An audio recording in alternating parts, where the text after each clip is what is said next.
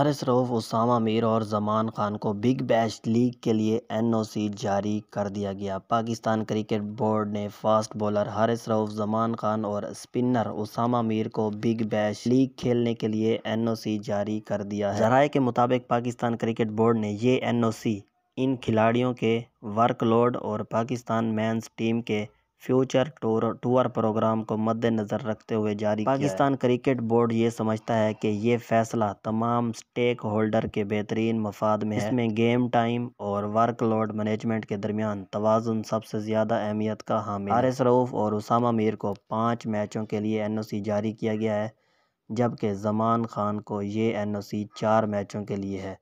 ये तमाम मैचेस सात से अट्ठाईस दिसंबर के दरमियान होने इस तरह की मज़ीद वीडियोस देखने के लिए नोट आउट को सब्सक्राइब करें ताकि आप भी रहें नोट आउट।